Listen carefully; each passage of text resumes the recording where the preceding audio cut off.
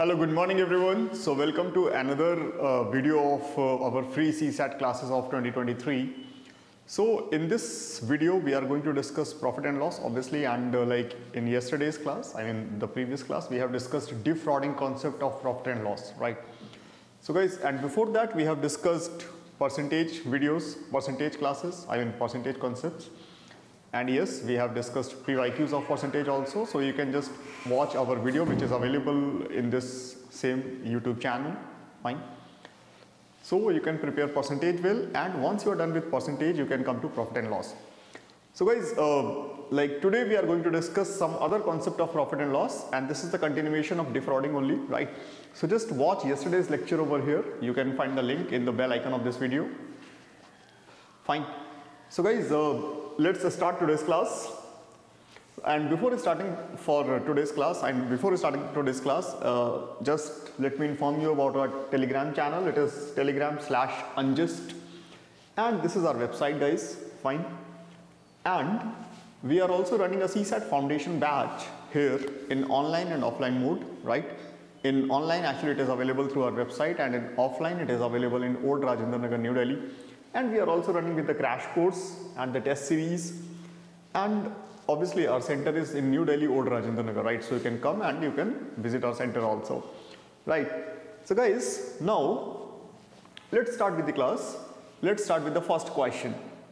So everyone today we we are dealing with a problem actually. Today we are dealing with a mistake right?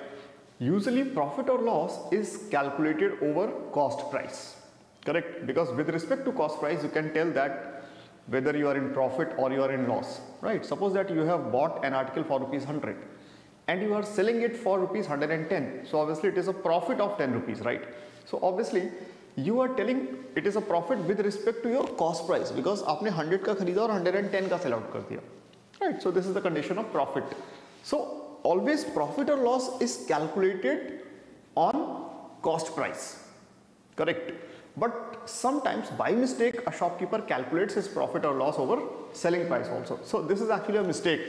So questions are coming on this mistake also, right? So guys just read this question. The question says by mistake a shopkeeper calculates his profit on the selling price and claims to make a profit of 20% find his actual profit, right? Question is saying by mistake a shopkeeper calculates his profit on selling price and claims to make a profit of 20% find out his actual profit right everyone so just read this question find his actual profit the question is saying right so everybody by mistake a shopkeeper calculates his profit on selling price right so always assume selling price as rupees 100 right because obviously 100 का कोई भी percentage निकालना is very simple for all of us right so that's why always try to assume the selling price as rupees 100 Fine. So here the question is saying by mistake a shopkeeper calculates his profit on the selling price. So we have just assumed the selling price as rupees 100. Fine. And after that आप मुझे एक बात बताइए selling price पे profit हुआ है कितना shopkeeper कह रहा है कि मुझे 20 परसेंट का प्रॉफिट हुआ है तो सेलिंग प्राइस का 20 परसेंट हंड्रेड का 20 परसेंट कितना हुआ 20 rupees right So if 20 rupees ka profit, it means cost price will be 20 less than the selling price. So cost price will be 80 rupees, right? So everybody, the situation is the shopkeeper like bought that good for rupees 80 and he sold that good for rupees 100, right? Or bought that article for rupees 80 and sold that article for rupees 100. And this is actually, this is the gain of 20 rupees, right? So in spite of calculating 20 is what percentage of this, by mistake he has calculated 20 is what percentage of this, right? So 20 is what percentage of 100 he has calculated and he claimed to make a profit of 20%. Correct? आपको situation समझ में आ गई ठीक है So now the question is saying find out his actual profit. So guys if we rectify his, his mistake so if we rectify, rectify this mistake, so obviously we will calculate 20 is what percentage of 80, right? So 20 is what percentage of 80. So actually friends it is one fourth, right? So this is one fourth. So one fourth means what? One fourth means 25%. Okay everyone? So the gain is 25%, correct? So so, actually उसको 25 percent का profit हुआ है लेकिन उसने एक mistake की इसकी वजह से वो बता रहा है कि मुझे 20 परसेंट का प्रॉफिट हुआ है। ठीक है? तो ऐसे क्वेश्चंस भी एग्ज़ाम में आ सकते हैं। क्वेश्चंस बहुत सिंपल हैं, बहुत नॉर्मल सा फिनोमिनन है। कैलकुलेशन में एक मिस्टेक हो गई तो इसकी वजह से कुछ रिज़ल्ट आप और बता रहे हैं। तो find out the actual result if the mistake would not have occurred correct okay now guys let's move to some other questions like this हाँ? चलिए जरा एक और करते हैं। देखिए जरा। नेक्स्ट क्वेश्चन नेक्स्ट क्वेश्चन लिखा हुआ है a shopkeeper calculates his loss on selling price a shopkeeper calculates his loss on selling price by mistake and claims a loss of 25% right everybody those who are sitting online they may also reply i can see some of you official music good morning right so some of you are saying i mean the question is saying by mistake a shopkeeper calculates his loss on selling price and claims to make a loss of 25%. Find out his actual loss. Guys, can you tell me the answer? सोच के बताइए थोड़ा सा और आराम से देखिए।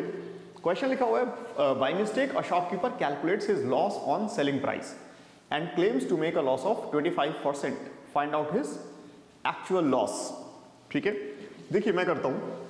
सबसे पहले तो आप सेलिंग प्राइस को 100 परसेंट मतलब 100 रुपीज़ एज्यूम कर लीजिए। So selling price is rupees hundred Fine. Now, the question is there is a loss.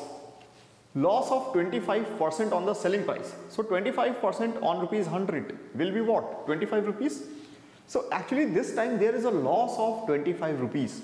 So, guys, when there is a loss, it means what? Cost price will be more than the selling price. Okay, if there is a loss, it means cost price will be more than the selling price, right? So if cost price is more than the selling price, it means and this is 25 rupees loss, so cost price will be 100 plus 25 which is 125 right everybody please mind it. When there is a loss then obviously cost price will be greater than the selling price. And when there is a profit then cost price will be lesser than the selling price. Correct? So here actually the loss is 25 rupees. Right guys? The loss is actually 25 rupees. But by mistake the shopkeeper has calculated 25 is what percentage of 100 Rather, he should have calculated 25 is what percentage of 125, correct? So just calculate 25 is what percentage of 125, right? So obviously, guys, this is 1 fifth, right? So 1 fifth means what? 20%. So everyone, this is 20% loss. So actual loss is actually 20%. Yes, Ajay Patel, your answer is very correct, right? Thank you. So there is a loss of 20 percent right so guys ठीक है, आप लोग को समझ में आ रही है बातें। It's it's very good it's very good really ठीक है? मैं आपको एक और क्वेश्चन देता हूँ, ठीक है? जो क्वेश्चन मैंने किसी एग्ज़ाम से पिक किया हुआ है, ठीक है? बिल्कुल सिमिलर क्वेश्चन है आई मीन सिमिलर सिचुएशन है राइट और ऑलमोस्ट सिमिलर क्वेश्चन भी है, ठीक है? आप एक बार जरा उसको ट्राई करिए। So guys are you ready for the next question shall you move हाँ ओके देखिए जरा नेक्स्ट क्वेश्चन देखिए। नेक्स्ट क्वेश्चन इज़ सेइंग थोड़ा सा ये ऑप्शन जो है ठीक कर लीजिएगा। This is actually twenty percent option B right ये ऐसे लिखा हुआ है। This is option is sixteen two by three percent so anyways let me read the question the question is saying if loss is 1 1 by 3 of SP then find out the loss percentage. कितना simple सा, कितना छोटा सा question लिखा हुआ है। If loss is one third of selling price then find out the loss percentage. if loss is one third of the selling price then find out the loss percentage right कितना simple सा question है कितना छोटा सा एक बार जरा मुझे answer बताइए those were sitting online Ajay official music Rohit so you guys can answer this question i mean if you can answer this question then that would be great yes everybody everybody what is the answer if loss is one third of sp then find out the loss percentage right everyone If loss is one third of the SP, then find out the loss percentage. Yes guys, what is the answer? Those who are sitting online. If you can solve this question, then it would be great. Pooja Sharma. Pooja Sharma, good morning. So Pooja, there is a question in front of you. Can you solve this question? If loss is one third of SP, then what is the loss percentage? If loss is one third of SP, then what is loss percentage? Yes everyone, can you solve this question? और अगर नहीं हो रहा है तो मुझे बताइए, मैं हेल्प करता हूँ आपकी। ऑल ऑफ़ यू देखिए जरा क्वेश्चन में क्या लिखा हुआ है? If loss is one third of SP then find out the loss percentage right so all of you if loss is one third of the SP so SP आपने अगर one third बोला हुआ है तो एसपी को आप three मान लीजिए, क्योंकि एसपी का वन थर्ड आपको निकालना पड़ेगा right so SP I have assumed as three rupees right and guys there is a loss Loss means what? Cost price is more than the selling price, right? Cost price is more than the selling price. And the question is saying loss is one third of SP, one third of this will be 1 rupee, right? So actually loss is 1 rupee. So loss is 1 rupee means CP will be 3 plus 1 which is actually 4 rupees, right? So the situation is CP was 4 rupees, SP was four, 3 rupees, there is a loss of 1 rupee, right? So instead of calculating 1 is what percentage of 4 he have he has calculated 1 is what percentage of 3 or 1 is like what fraction of 3 so he said 1 third right? So ideally he should have calculated 1 is what percentage of 4 right everybody? So 1 is what percentage of 4 so obviously this is 1 fourth 1 fourth means 25 percent right everyone? So this is 1 25 percent loss. All of you clear? So this is 25 percent loss guys, okay, ये बात आपको समझ में आई? ठीक है? So these type of question are coming to the examination based on this mistake मैं आपको फिर से बता देता हूँ कि जो प्रॉफिट और लॉस है ना, Ajay your answer is correct मैं आपको फिर से बता देता हूँ, जो प्रॉफिट है या जो लॉस है, वो हमेशा आपके कॉस्ट प्राइस के रिस्पेक्ट में कैलकुलेट किया जाता है। अगर आप सेलिंग प्राइस में कैलकुलेट कर लेंगे तो वो मिस्टेक होगी। And sometimes the question are being asked on that mistake also right तो ये टॉपिक एक्चुअली बहुत ही लॉजिकल है. You have to you have to be logical all the time right guys अब जो है एक और छोटा सा कॉन्सेप्ट होता है. तो ये मुझे लगता है कि आपको क्लियर हो गया होगा. एक और छोटा सा कॉन्सेप्ट हम लोग पिक करते हैं आज की क्लास में. ठीक है? एक बार जरा उसको देखिए. One more concept just read this right the concept is if the selling price of okay Pooja Sharma saying sir it's my first class okay March तक सी सेट सिलेबस कंप्लीट करवा दीजिए।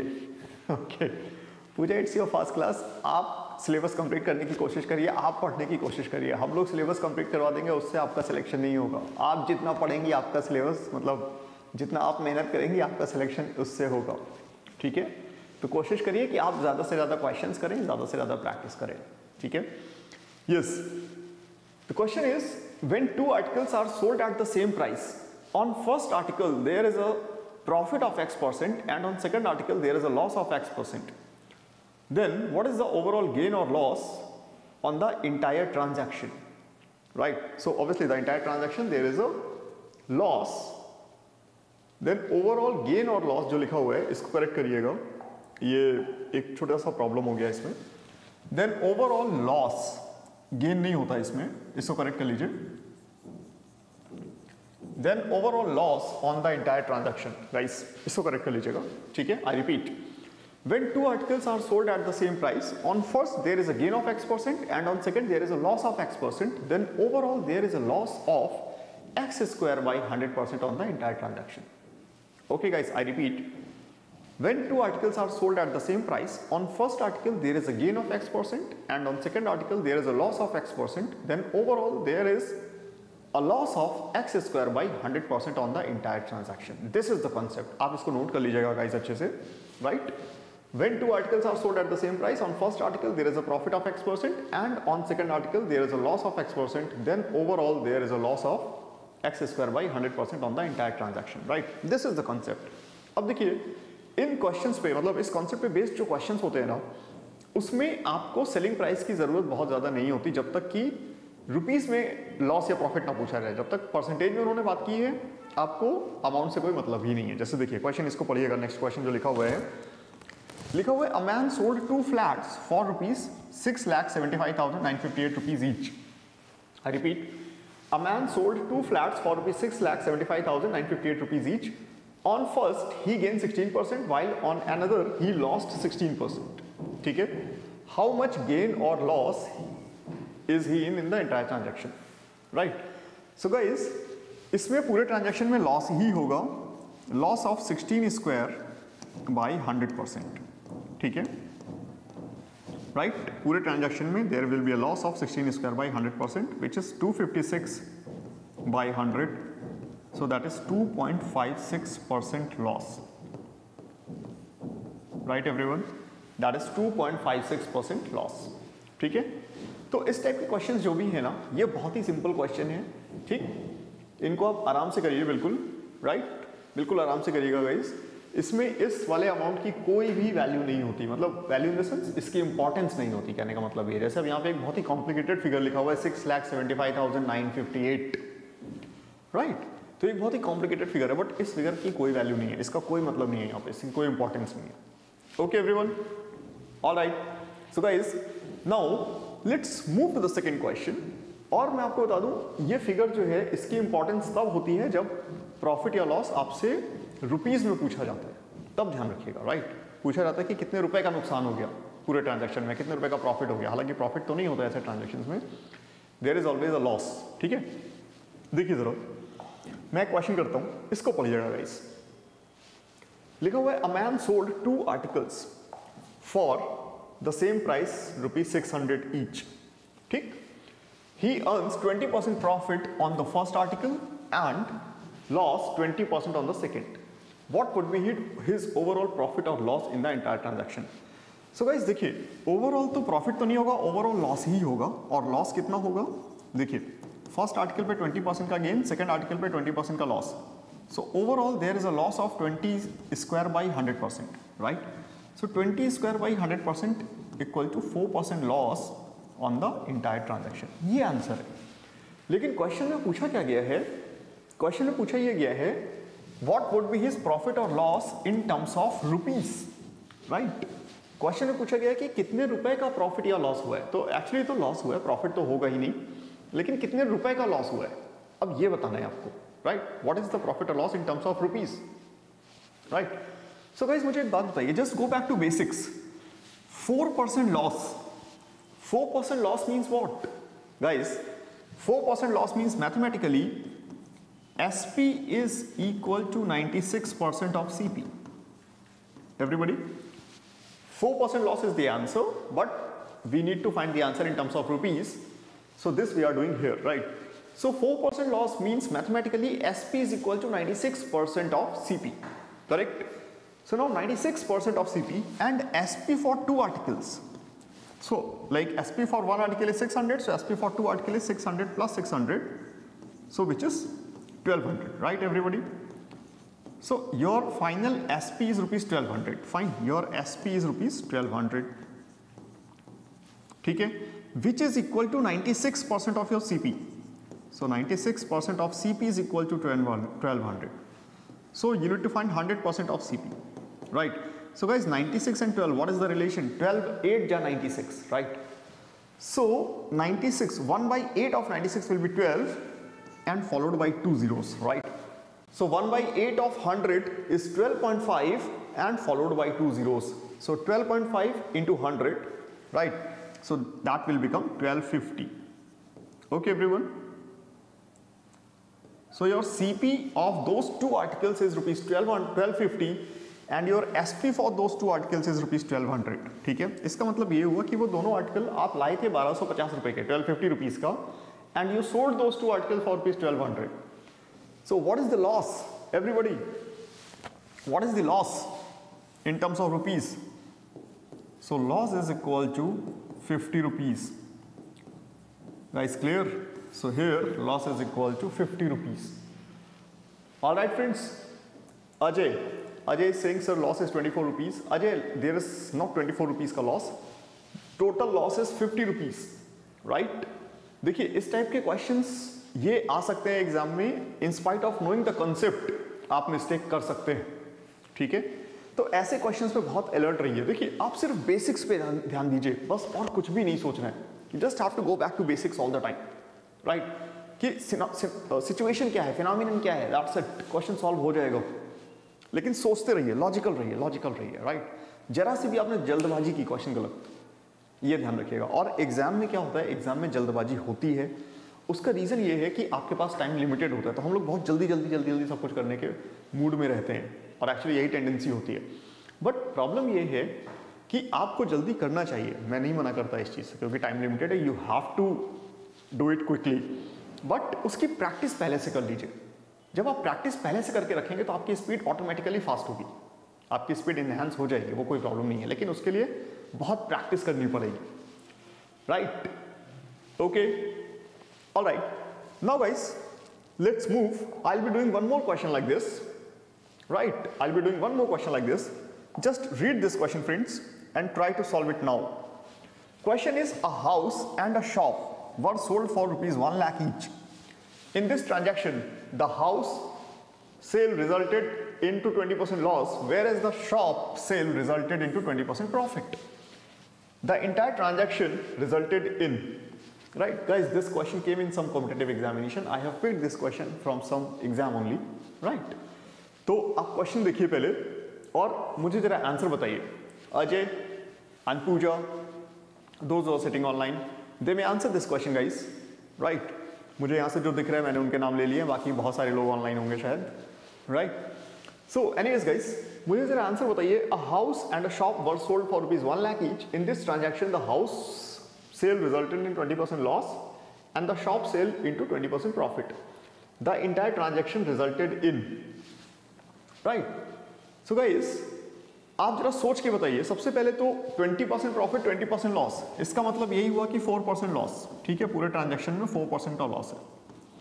अब 4 परसेंट का loss का मतलब हुआ कि CP I mean SP is equal to 96 percent of CP right as we have done in the last question SP is equal to 96 percent of CP fine so 96 percent of CP is equal to 2 lakh, right? Because 1 lakh 1 lakh, right? So, final SP is 2 lakhs.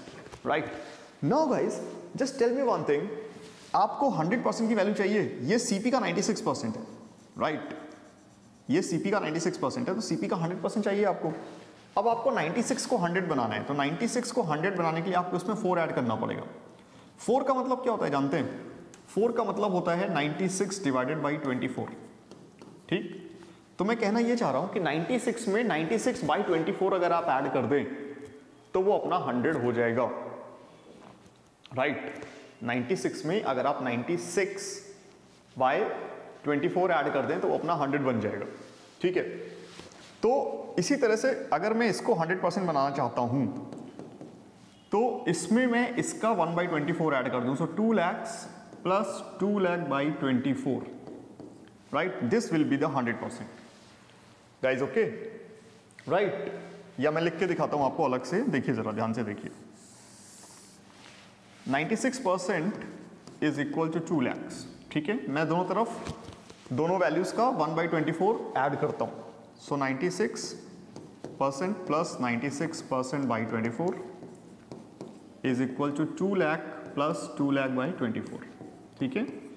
तो ये तो हो गया four 96 plus four will become 100 percent fine and this is what? This is 1 by 12 right? So 1 by 12 lakhs. so 2 lakh plus 1 by 12 lakh right everybody so 100% was 2 lakhs plus 1 by 12 lakhs so actually आपने अगर 2 lakhs का sell out कर दिया तो 2 lakhs plus 1 by 12 lakhs का आप लेकर के आए थे और अगर आपने 2 lakhs का सेल आउट कर दिया तो actually there is a loss of 1 by 12 lakhs right so there is a loss of 1 by 12 lakh everybody clear so this smartness you have to you know you have to develop this kind of Smartness right. मैं ये नहीं कहता कि आप ऐसे ही करो या मेरे ही तरीके से करो, आप चाहे जैसे करो। लेकिन आपका क्वेश्चन जल्दी होना चाहिए और सही होना चाहिए। एक्यूरेसी विद स्पीड ये दोनों चीज़ें मैटर करती हैं। अब जैसे देखिए, इसको जो है 96 को 96 को आपको 100 बनाना तो एक तरीका और भी है। आप इसको 25 फाइव बाई ट्वेंटी से मल्टीप्लाई कर दो। ये 100 बन जाएगा। Right right?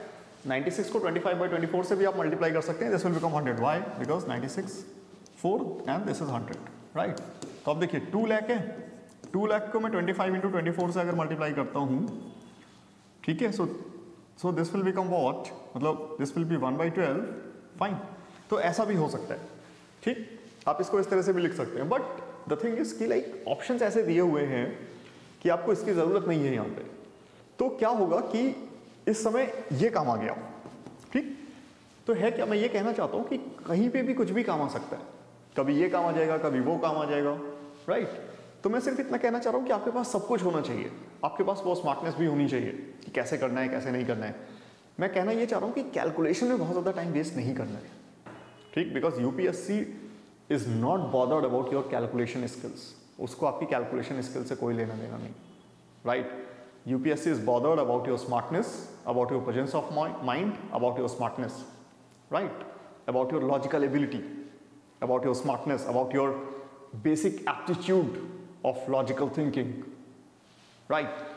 So anyways, guys, so the answer is 1 by 12 lakhs. Fine. मुझे लगता है कि आज हम लोग इतना ही रखते हैं, ठीक है? And guys this is our book right so you may buy our book now you can order it now right from Telegram और थ्रू व्हाट्सएप ठीक है? ये बुक आपको बहुत जल्दी हमारे यहाँ से भेज दी जाएगी जब आप ऑर्डर करेंगे तो ठीक है? अभी ये हमारे पास अवेलेबल है बट अभी हम इसको ऑफ़िस से ही हम सेल आउट कर रहे हैं राइट अभी तक हमने इसको किसी बुक स्टॉल में या कहीं पे भी मतलब ऐसे नहीं दिया है। सो so, जैसे जैसे इसका सर्कुलेशन बढ़ेगा हम लोग इसको बुक स्टॉल्स में भी देना शुरू करेंगे एंड अमेजोन एंड फ्लिपकार्ट में भी बुक अवेलेबल होगी वेरी सुन राइट एंड आपके नियरेस्ट बुक स्टोर पर भी अवेलेबल होगी ठीक है? एंड गाइज़ इस बुक को लिखने के लिए बहुत मेहनत की गई है बहुत काम किया गया है। सो so, अगर आप इसको परचेज करेंगे तो obviously you will you will get benefited out of it right that is for sure क्योंकि इसमें जो है इसमें सारे के सारे टॉपिक के क्वेश्चन हैं कॉन्सेप्ट कॉन्सेप्ट के क्वेश्चन हैं पूरे टॉपिक्स के कॉन्सेप्ट क्लियर किए गए हैं। उसके बाद उसके प्रैक्टिस क्वेश्चन दिए गए हैं। फिर सी के पी दिए गए हैं और पूरी तरह से सी सैट ओरिएंटेड क्वेश्चन ही डाले गए हैं उसमें। और सम अदर एग्ज़ाम्स के क्वेश्चन भी पिक करके डाले गए हैं जो कि उससे रिलेटेड क्वेश्चन हैं। तो एक्चुअली आप इतना करिए आपका सी नहीं रुकेगा और इसमें like we have collected approx 3 to 4000 questions मतलब from different different different examination right so आप इतने क्वेश्चन अगर कर लेंगे तो मज़ा आने वाला है, ठीक है? So guys thank you so very much for today's class I mean for joining us right thank you everyone thank you thank you